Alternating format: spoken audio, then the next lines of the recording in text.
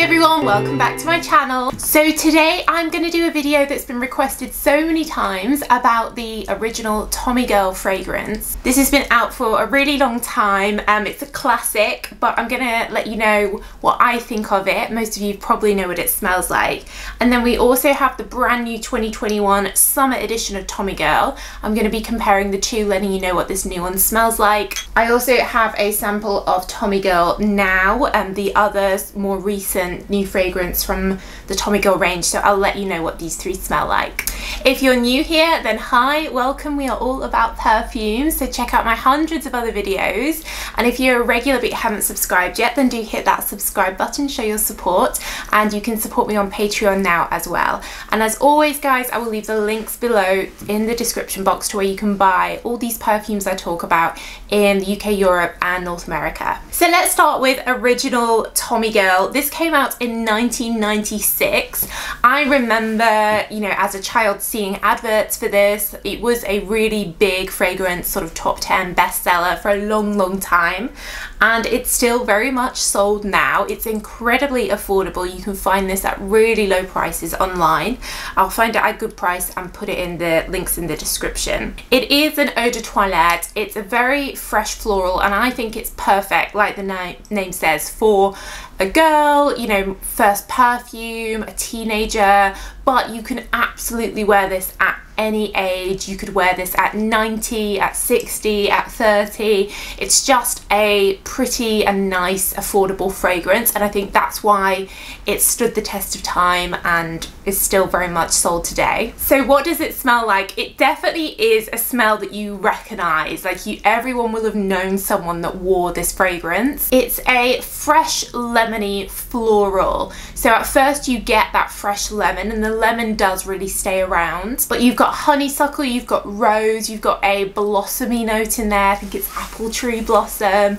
It's really pretty magnolia, almost a slight powderiness underneath. I think that's from a lily note and a bit of violets. They've basically taken like loads of really pretty floral notes and put them all in here and then added a really fresh lemon and some grapefruit as well. So it just comes across as everyday pretty floral. It's not crazy fresh because of all those flowers. It's like a bouquet of flowers that has a lot of different things in, but it is floral. It's not green floral. It's not like going outside into a dewy floral garden. It's more like a daytime big, big bouquet of flowers. I think what's quite good about it is even though it's an eau de toilette, it does have quite good lasting power and projection. You can smell it on yourself. It sticks around and that's probably a big reason why um, it's continued to sell. So it's just a classic, difficult to dislike, pretty everyday floral.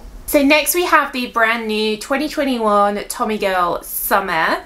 So this is definitely similar to the original. It really reminds me of the original. I'd say it's perhaps just a simpler version of the original. It has a musky magnolia as the main note, which gives that same musky floral vibe as the original. And then rather than a lemon, it has a mandarin orange. So it essentially gives a similar vibe but just slightly different perhaps slightly more fruity slightly simpler um, but it also has a sort of violety undertone like a makeup undertone. It comes in a really cute bottle. I love this packaging this design in the Tommy Hilfiger colors it's a pretty gift. I think if you like the original Tommy Girl then you'll definitely like this version.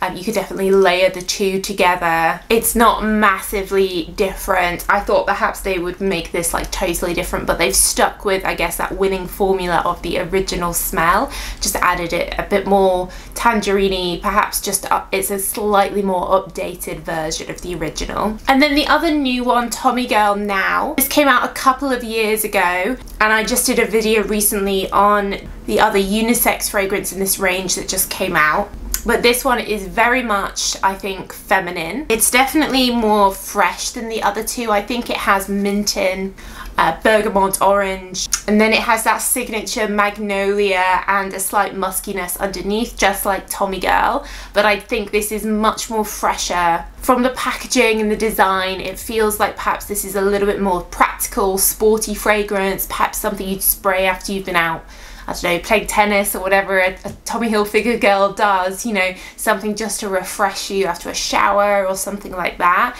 It's just a little bit more lighter and perhaps for hot weather this would be better rather than having so much of those floral notes like the other two do.